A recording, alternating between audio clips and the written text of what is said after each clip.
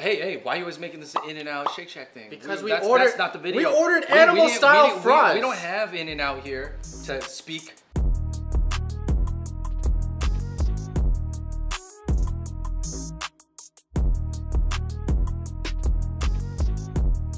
What's going on, everybody? Today we have the entire Shake Shack menu with us, and we are going to be trying it from what is ranked worst to the best item. Benson, you got a lot of opinions on this. Shake Shack started back in New York City in 2004. I've been going since I was a kid. Shake Shack has a fascinating story. It sort of like took burgers to the next level. It really came in at almost like a $15 meal, which is just way different than what was available before. It's almost like fast casual. So in the beginning, it actually started off as a hot dog cart um, as part of like an art exhibit uh, for I Love New York in Madison Square Park. Which kind of leads us into our first section, Yeah, man. which is considered by the internets the worst section. There's not much to it. You have the cheese dog, which you can get the cheese as extra, and you have the regular plain hot dog here. It is a all beef Vienna sausage frank on a potato roll. All right, start off with the one without cheese, Shake Shack hot dog.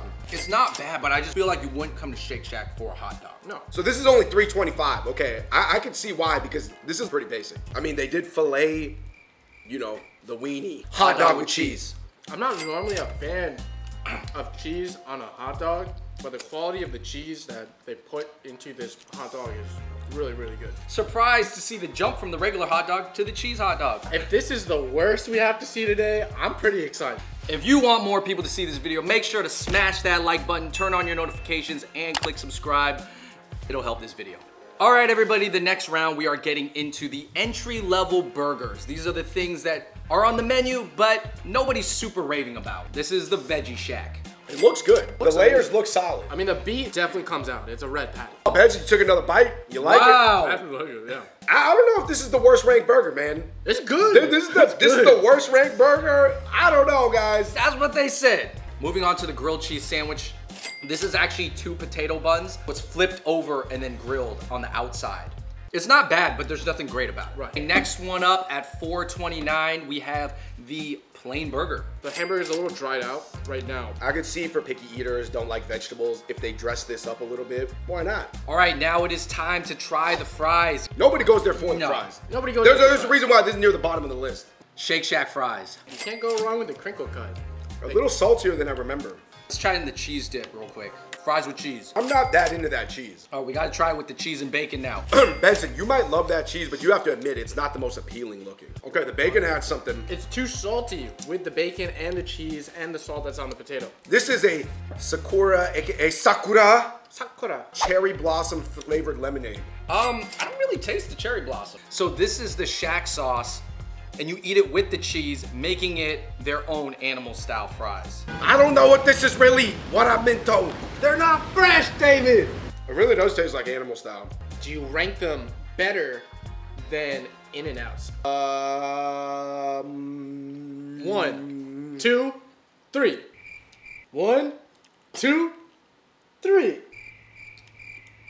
I want to say I would take Shake Shacks. All day I'm going to Shake Shack. I actually am, am totally able to skip the fries when I go to Shake Shack. I would rather these though than In and Out fries. Hey, hey, why are you always making this In and Out Shake Shack thing? Because we that's, ordered- that's not the video. we ordered animal didn't- style didn't- fries. We, don't have In and Out here to speak. Well, it's unnecessary. Stop the beat. We need to It's come not- together. All right, coming in as being ranked in the middle of the pack, we have the dessert section. We have custards and we have shakes. All right, just- immediately, guys, with this Sakura cherry blossom flavor, I can smell the cherry. All right, I'm not gonna lie, guys. The cherry blossom one is just a light cherry. Still Oh, good. you're right. This might be a black and white. This is definitely fudge. I got the malted vanilla. I don't really Yo. taste the uh, the malt.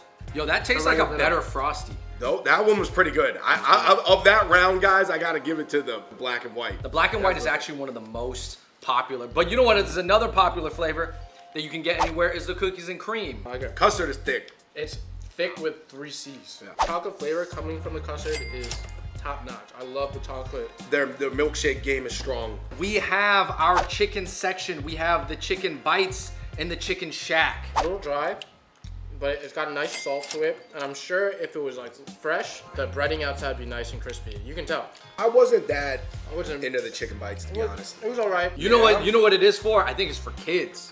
Because for kids. what kind of grown adult is gonna be like, uh, can I get the chicken bites You know, the chicken bites Yeah. sounds like some. They, I want the chicken bites, mom. Can you give me the You know- you- Shake Shack chicken bites? You know what my ex would do? Oh, his ex. Here's an ex story. Wait, which ex? I don't even know them all. Guys, we have the Chicken Shack here at 7.29. This is their premier chicken sandwich with their dill spread. They have nicely sliced pickles, nicely shredded cabbage. Everything is looking really high quality from here. That chicken is really a dry, gigantic piece of breast meat that I'm not into. Mm-hmm. But I do love the way they dressed it up. Everything flows well. I would say my only knock on this sandwich really is I think there's too many pickles. Okay, we are moving up the list and we have finally reached the burgers. These are considered the premier items. This is the Shroom Burger at 7.29. That is a portobello mushroom stuffed with Munster and cheddar. I would almost rather eat that shroom stuffed with the Munster and cheddar on its own than with the bun right now. Because I kind of get disappointed once I get to the potato bun flavor and I'm just like, that doesn't contrast that strongly. I'll tell you this, this is probably one of the heaviest vegetarian burgers I've ever had. Oh. Guys, this is the Shack Stack, okay? This has everything that you love from the Shroom Burger, which is the shroom and the cheese, but on top of a humongous patty. And is this not true? I only get this. This is the only thing I will get at Shake Shack. This is the single most expensive burger on the menu. There's a lot of things going on in my mouth right now. Yeah. Man, that was really good, but it was almost like too much is going on, man. Yeah. And not only did they add beef to this burger, but they added shack sauce. The portobello is Wait. bigger than a patty. I mean, that was pretty good. More is less in this case. I've realized I've been ordering the overwhelming burger. All right, our last burger of this round is actually a sandwich I've never had. I think it's a somewhat of a newcomer to the Shake Shack menu, but it is the roadside double. It has Swiss cheese, it's got caramelized onions. Uh, it's obviously a double, so it has two patties, mad grilled onions, I, I think that and it has Dijon mustard. I think that this is where more burgers are at in 2020. You know what I love is that the burgers aren't too big. This Caramelized onions is definitely the premier flavor in this. It's very, very forward. does it not taste like Loco Moco?